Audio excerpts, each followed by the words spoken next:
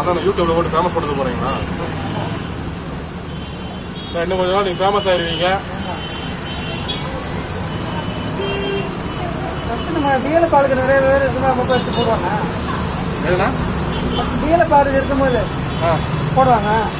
First ball யாரும் இல்லை dealer okay okay.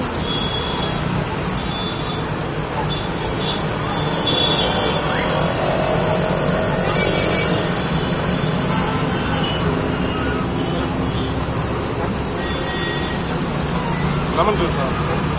கரும்பு ஜூஸா? அண்ணா ஒரு கரும்பு ஜூஸ்.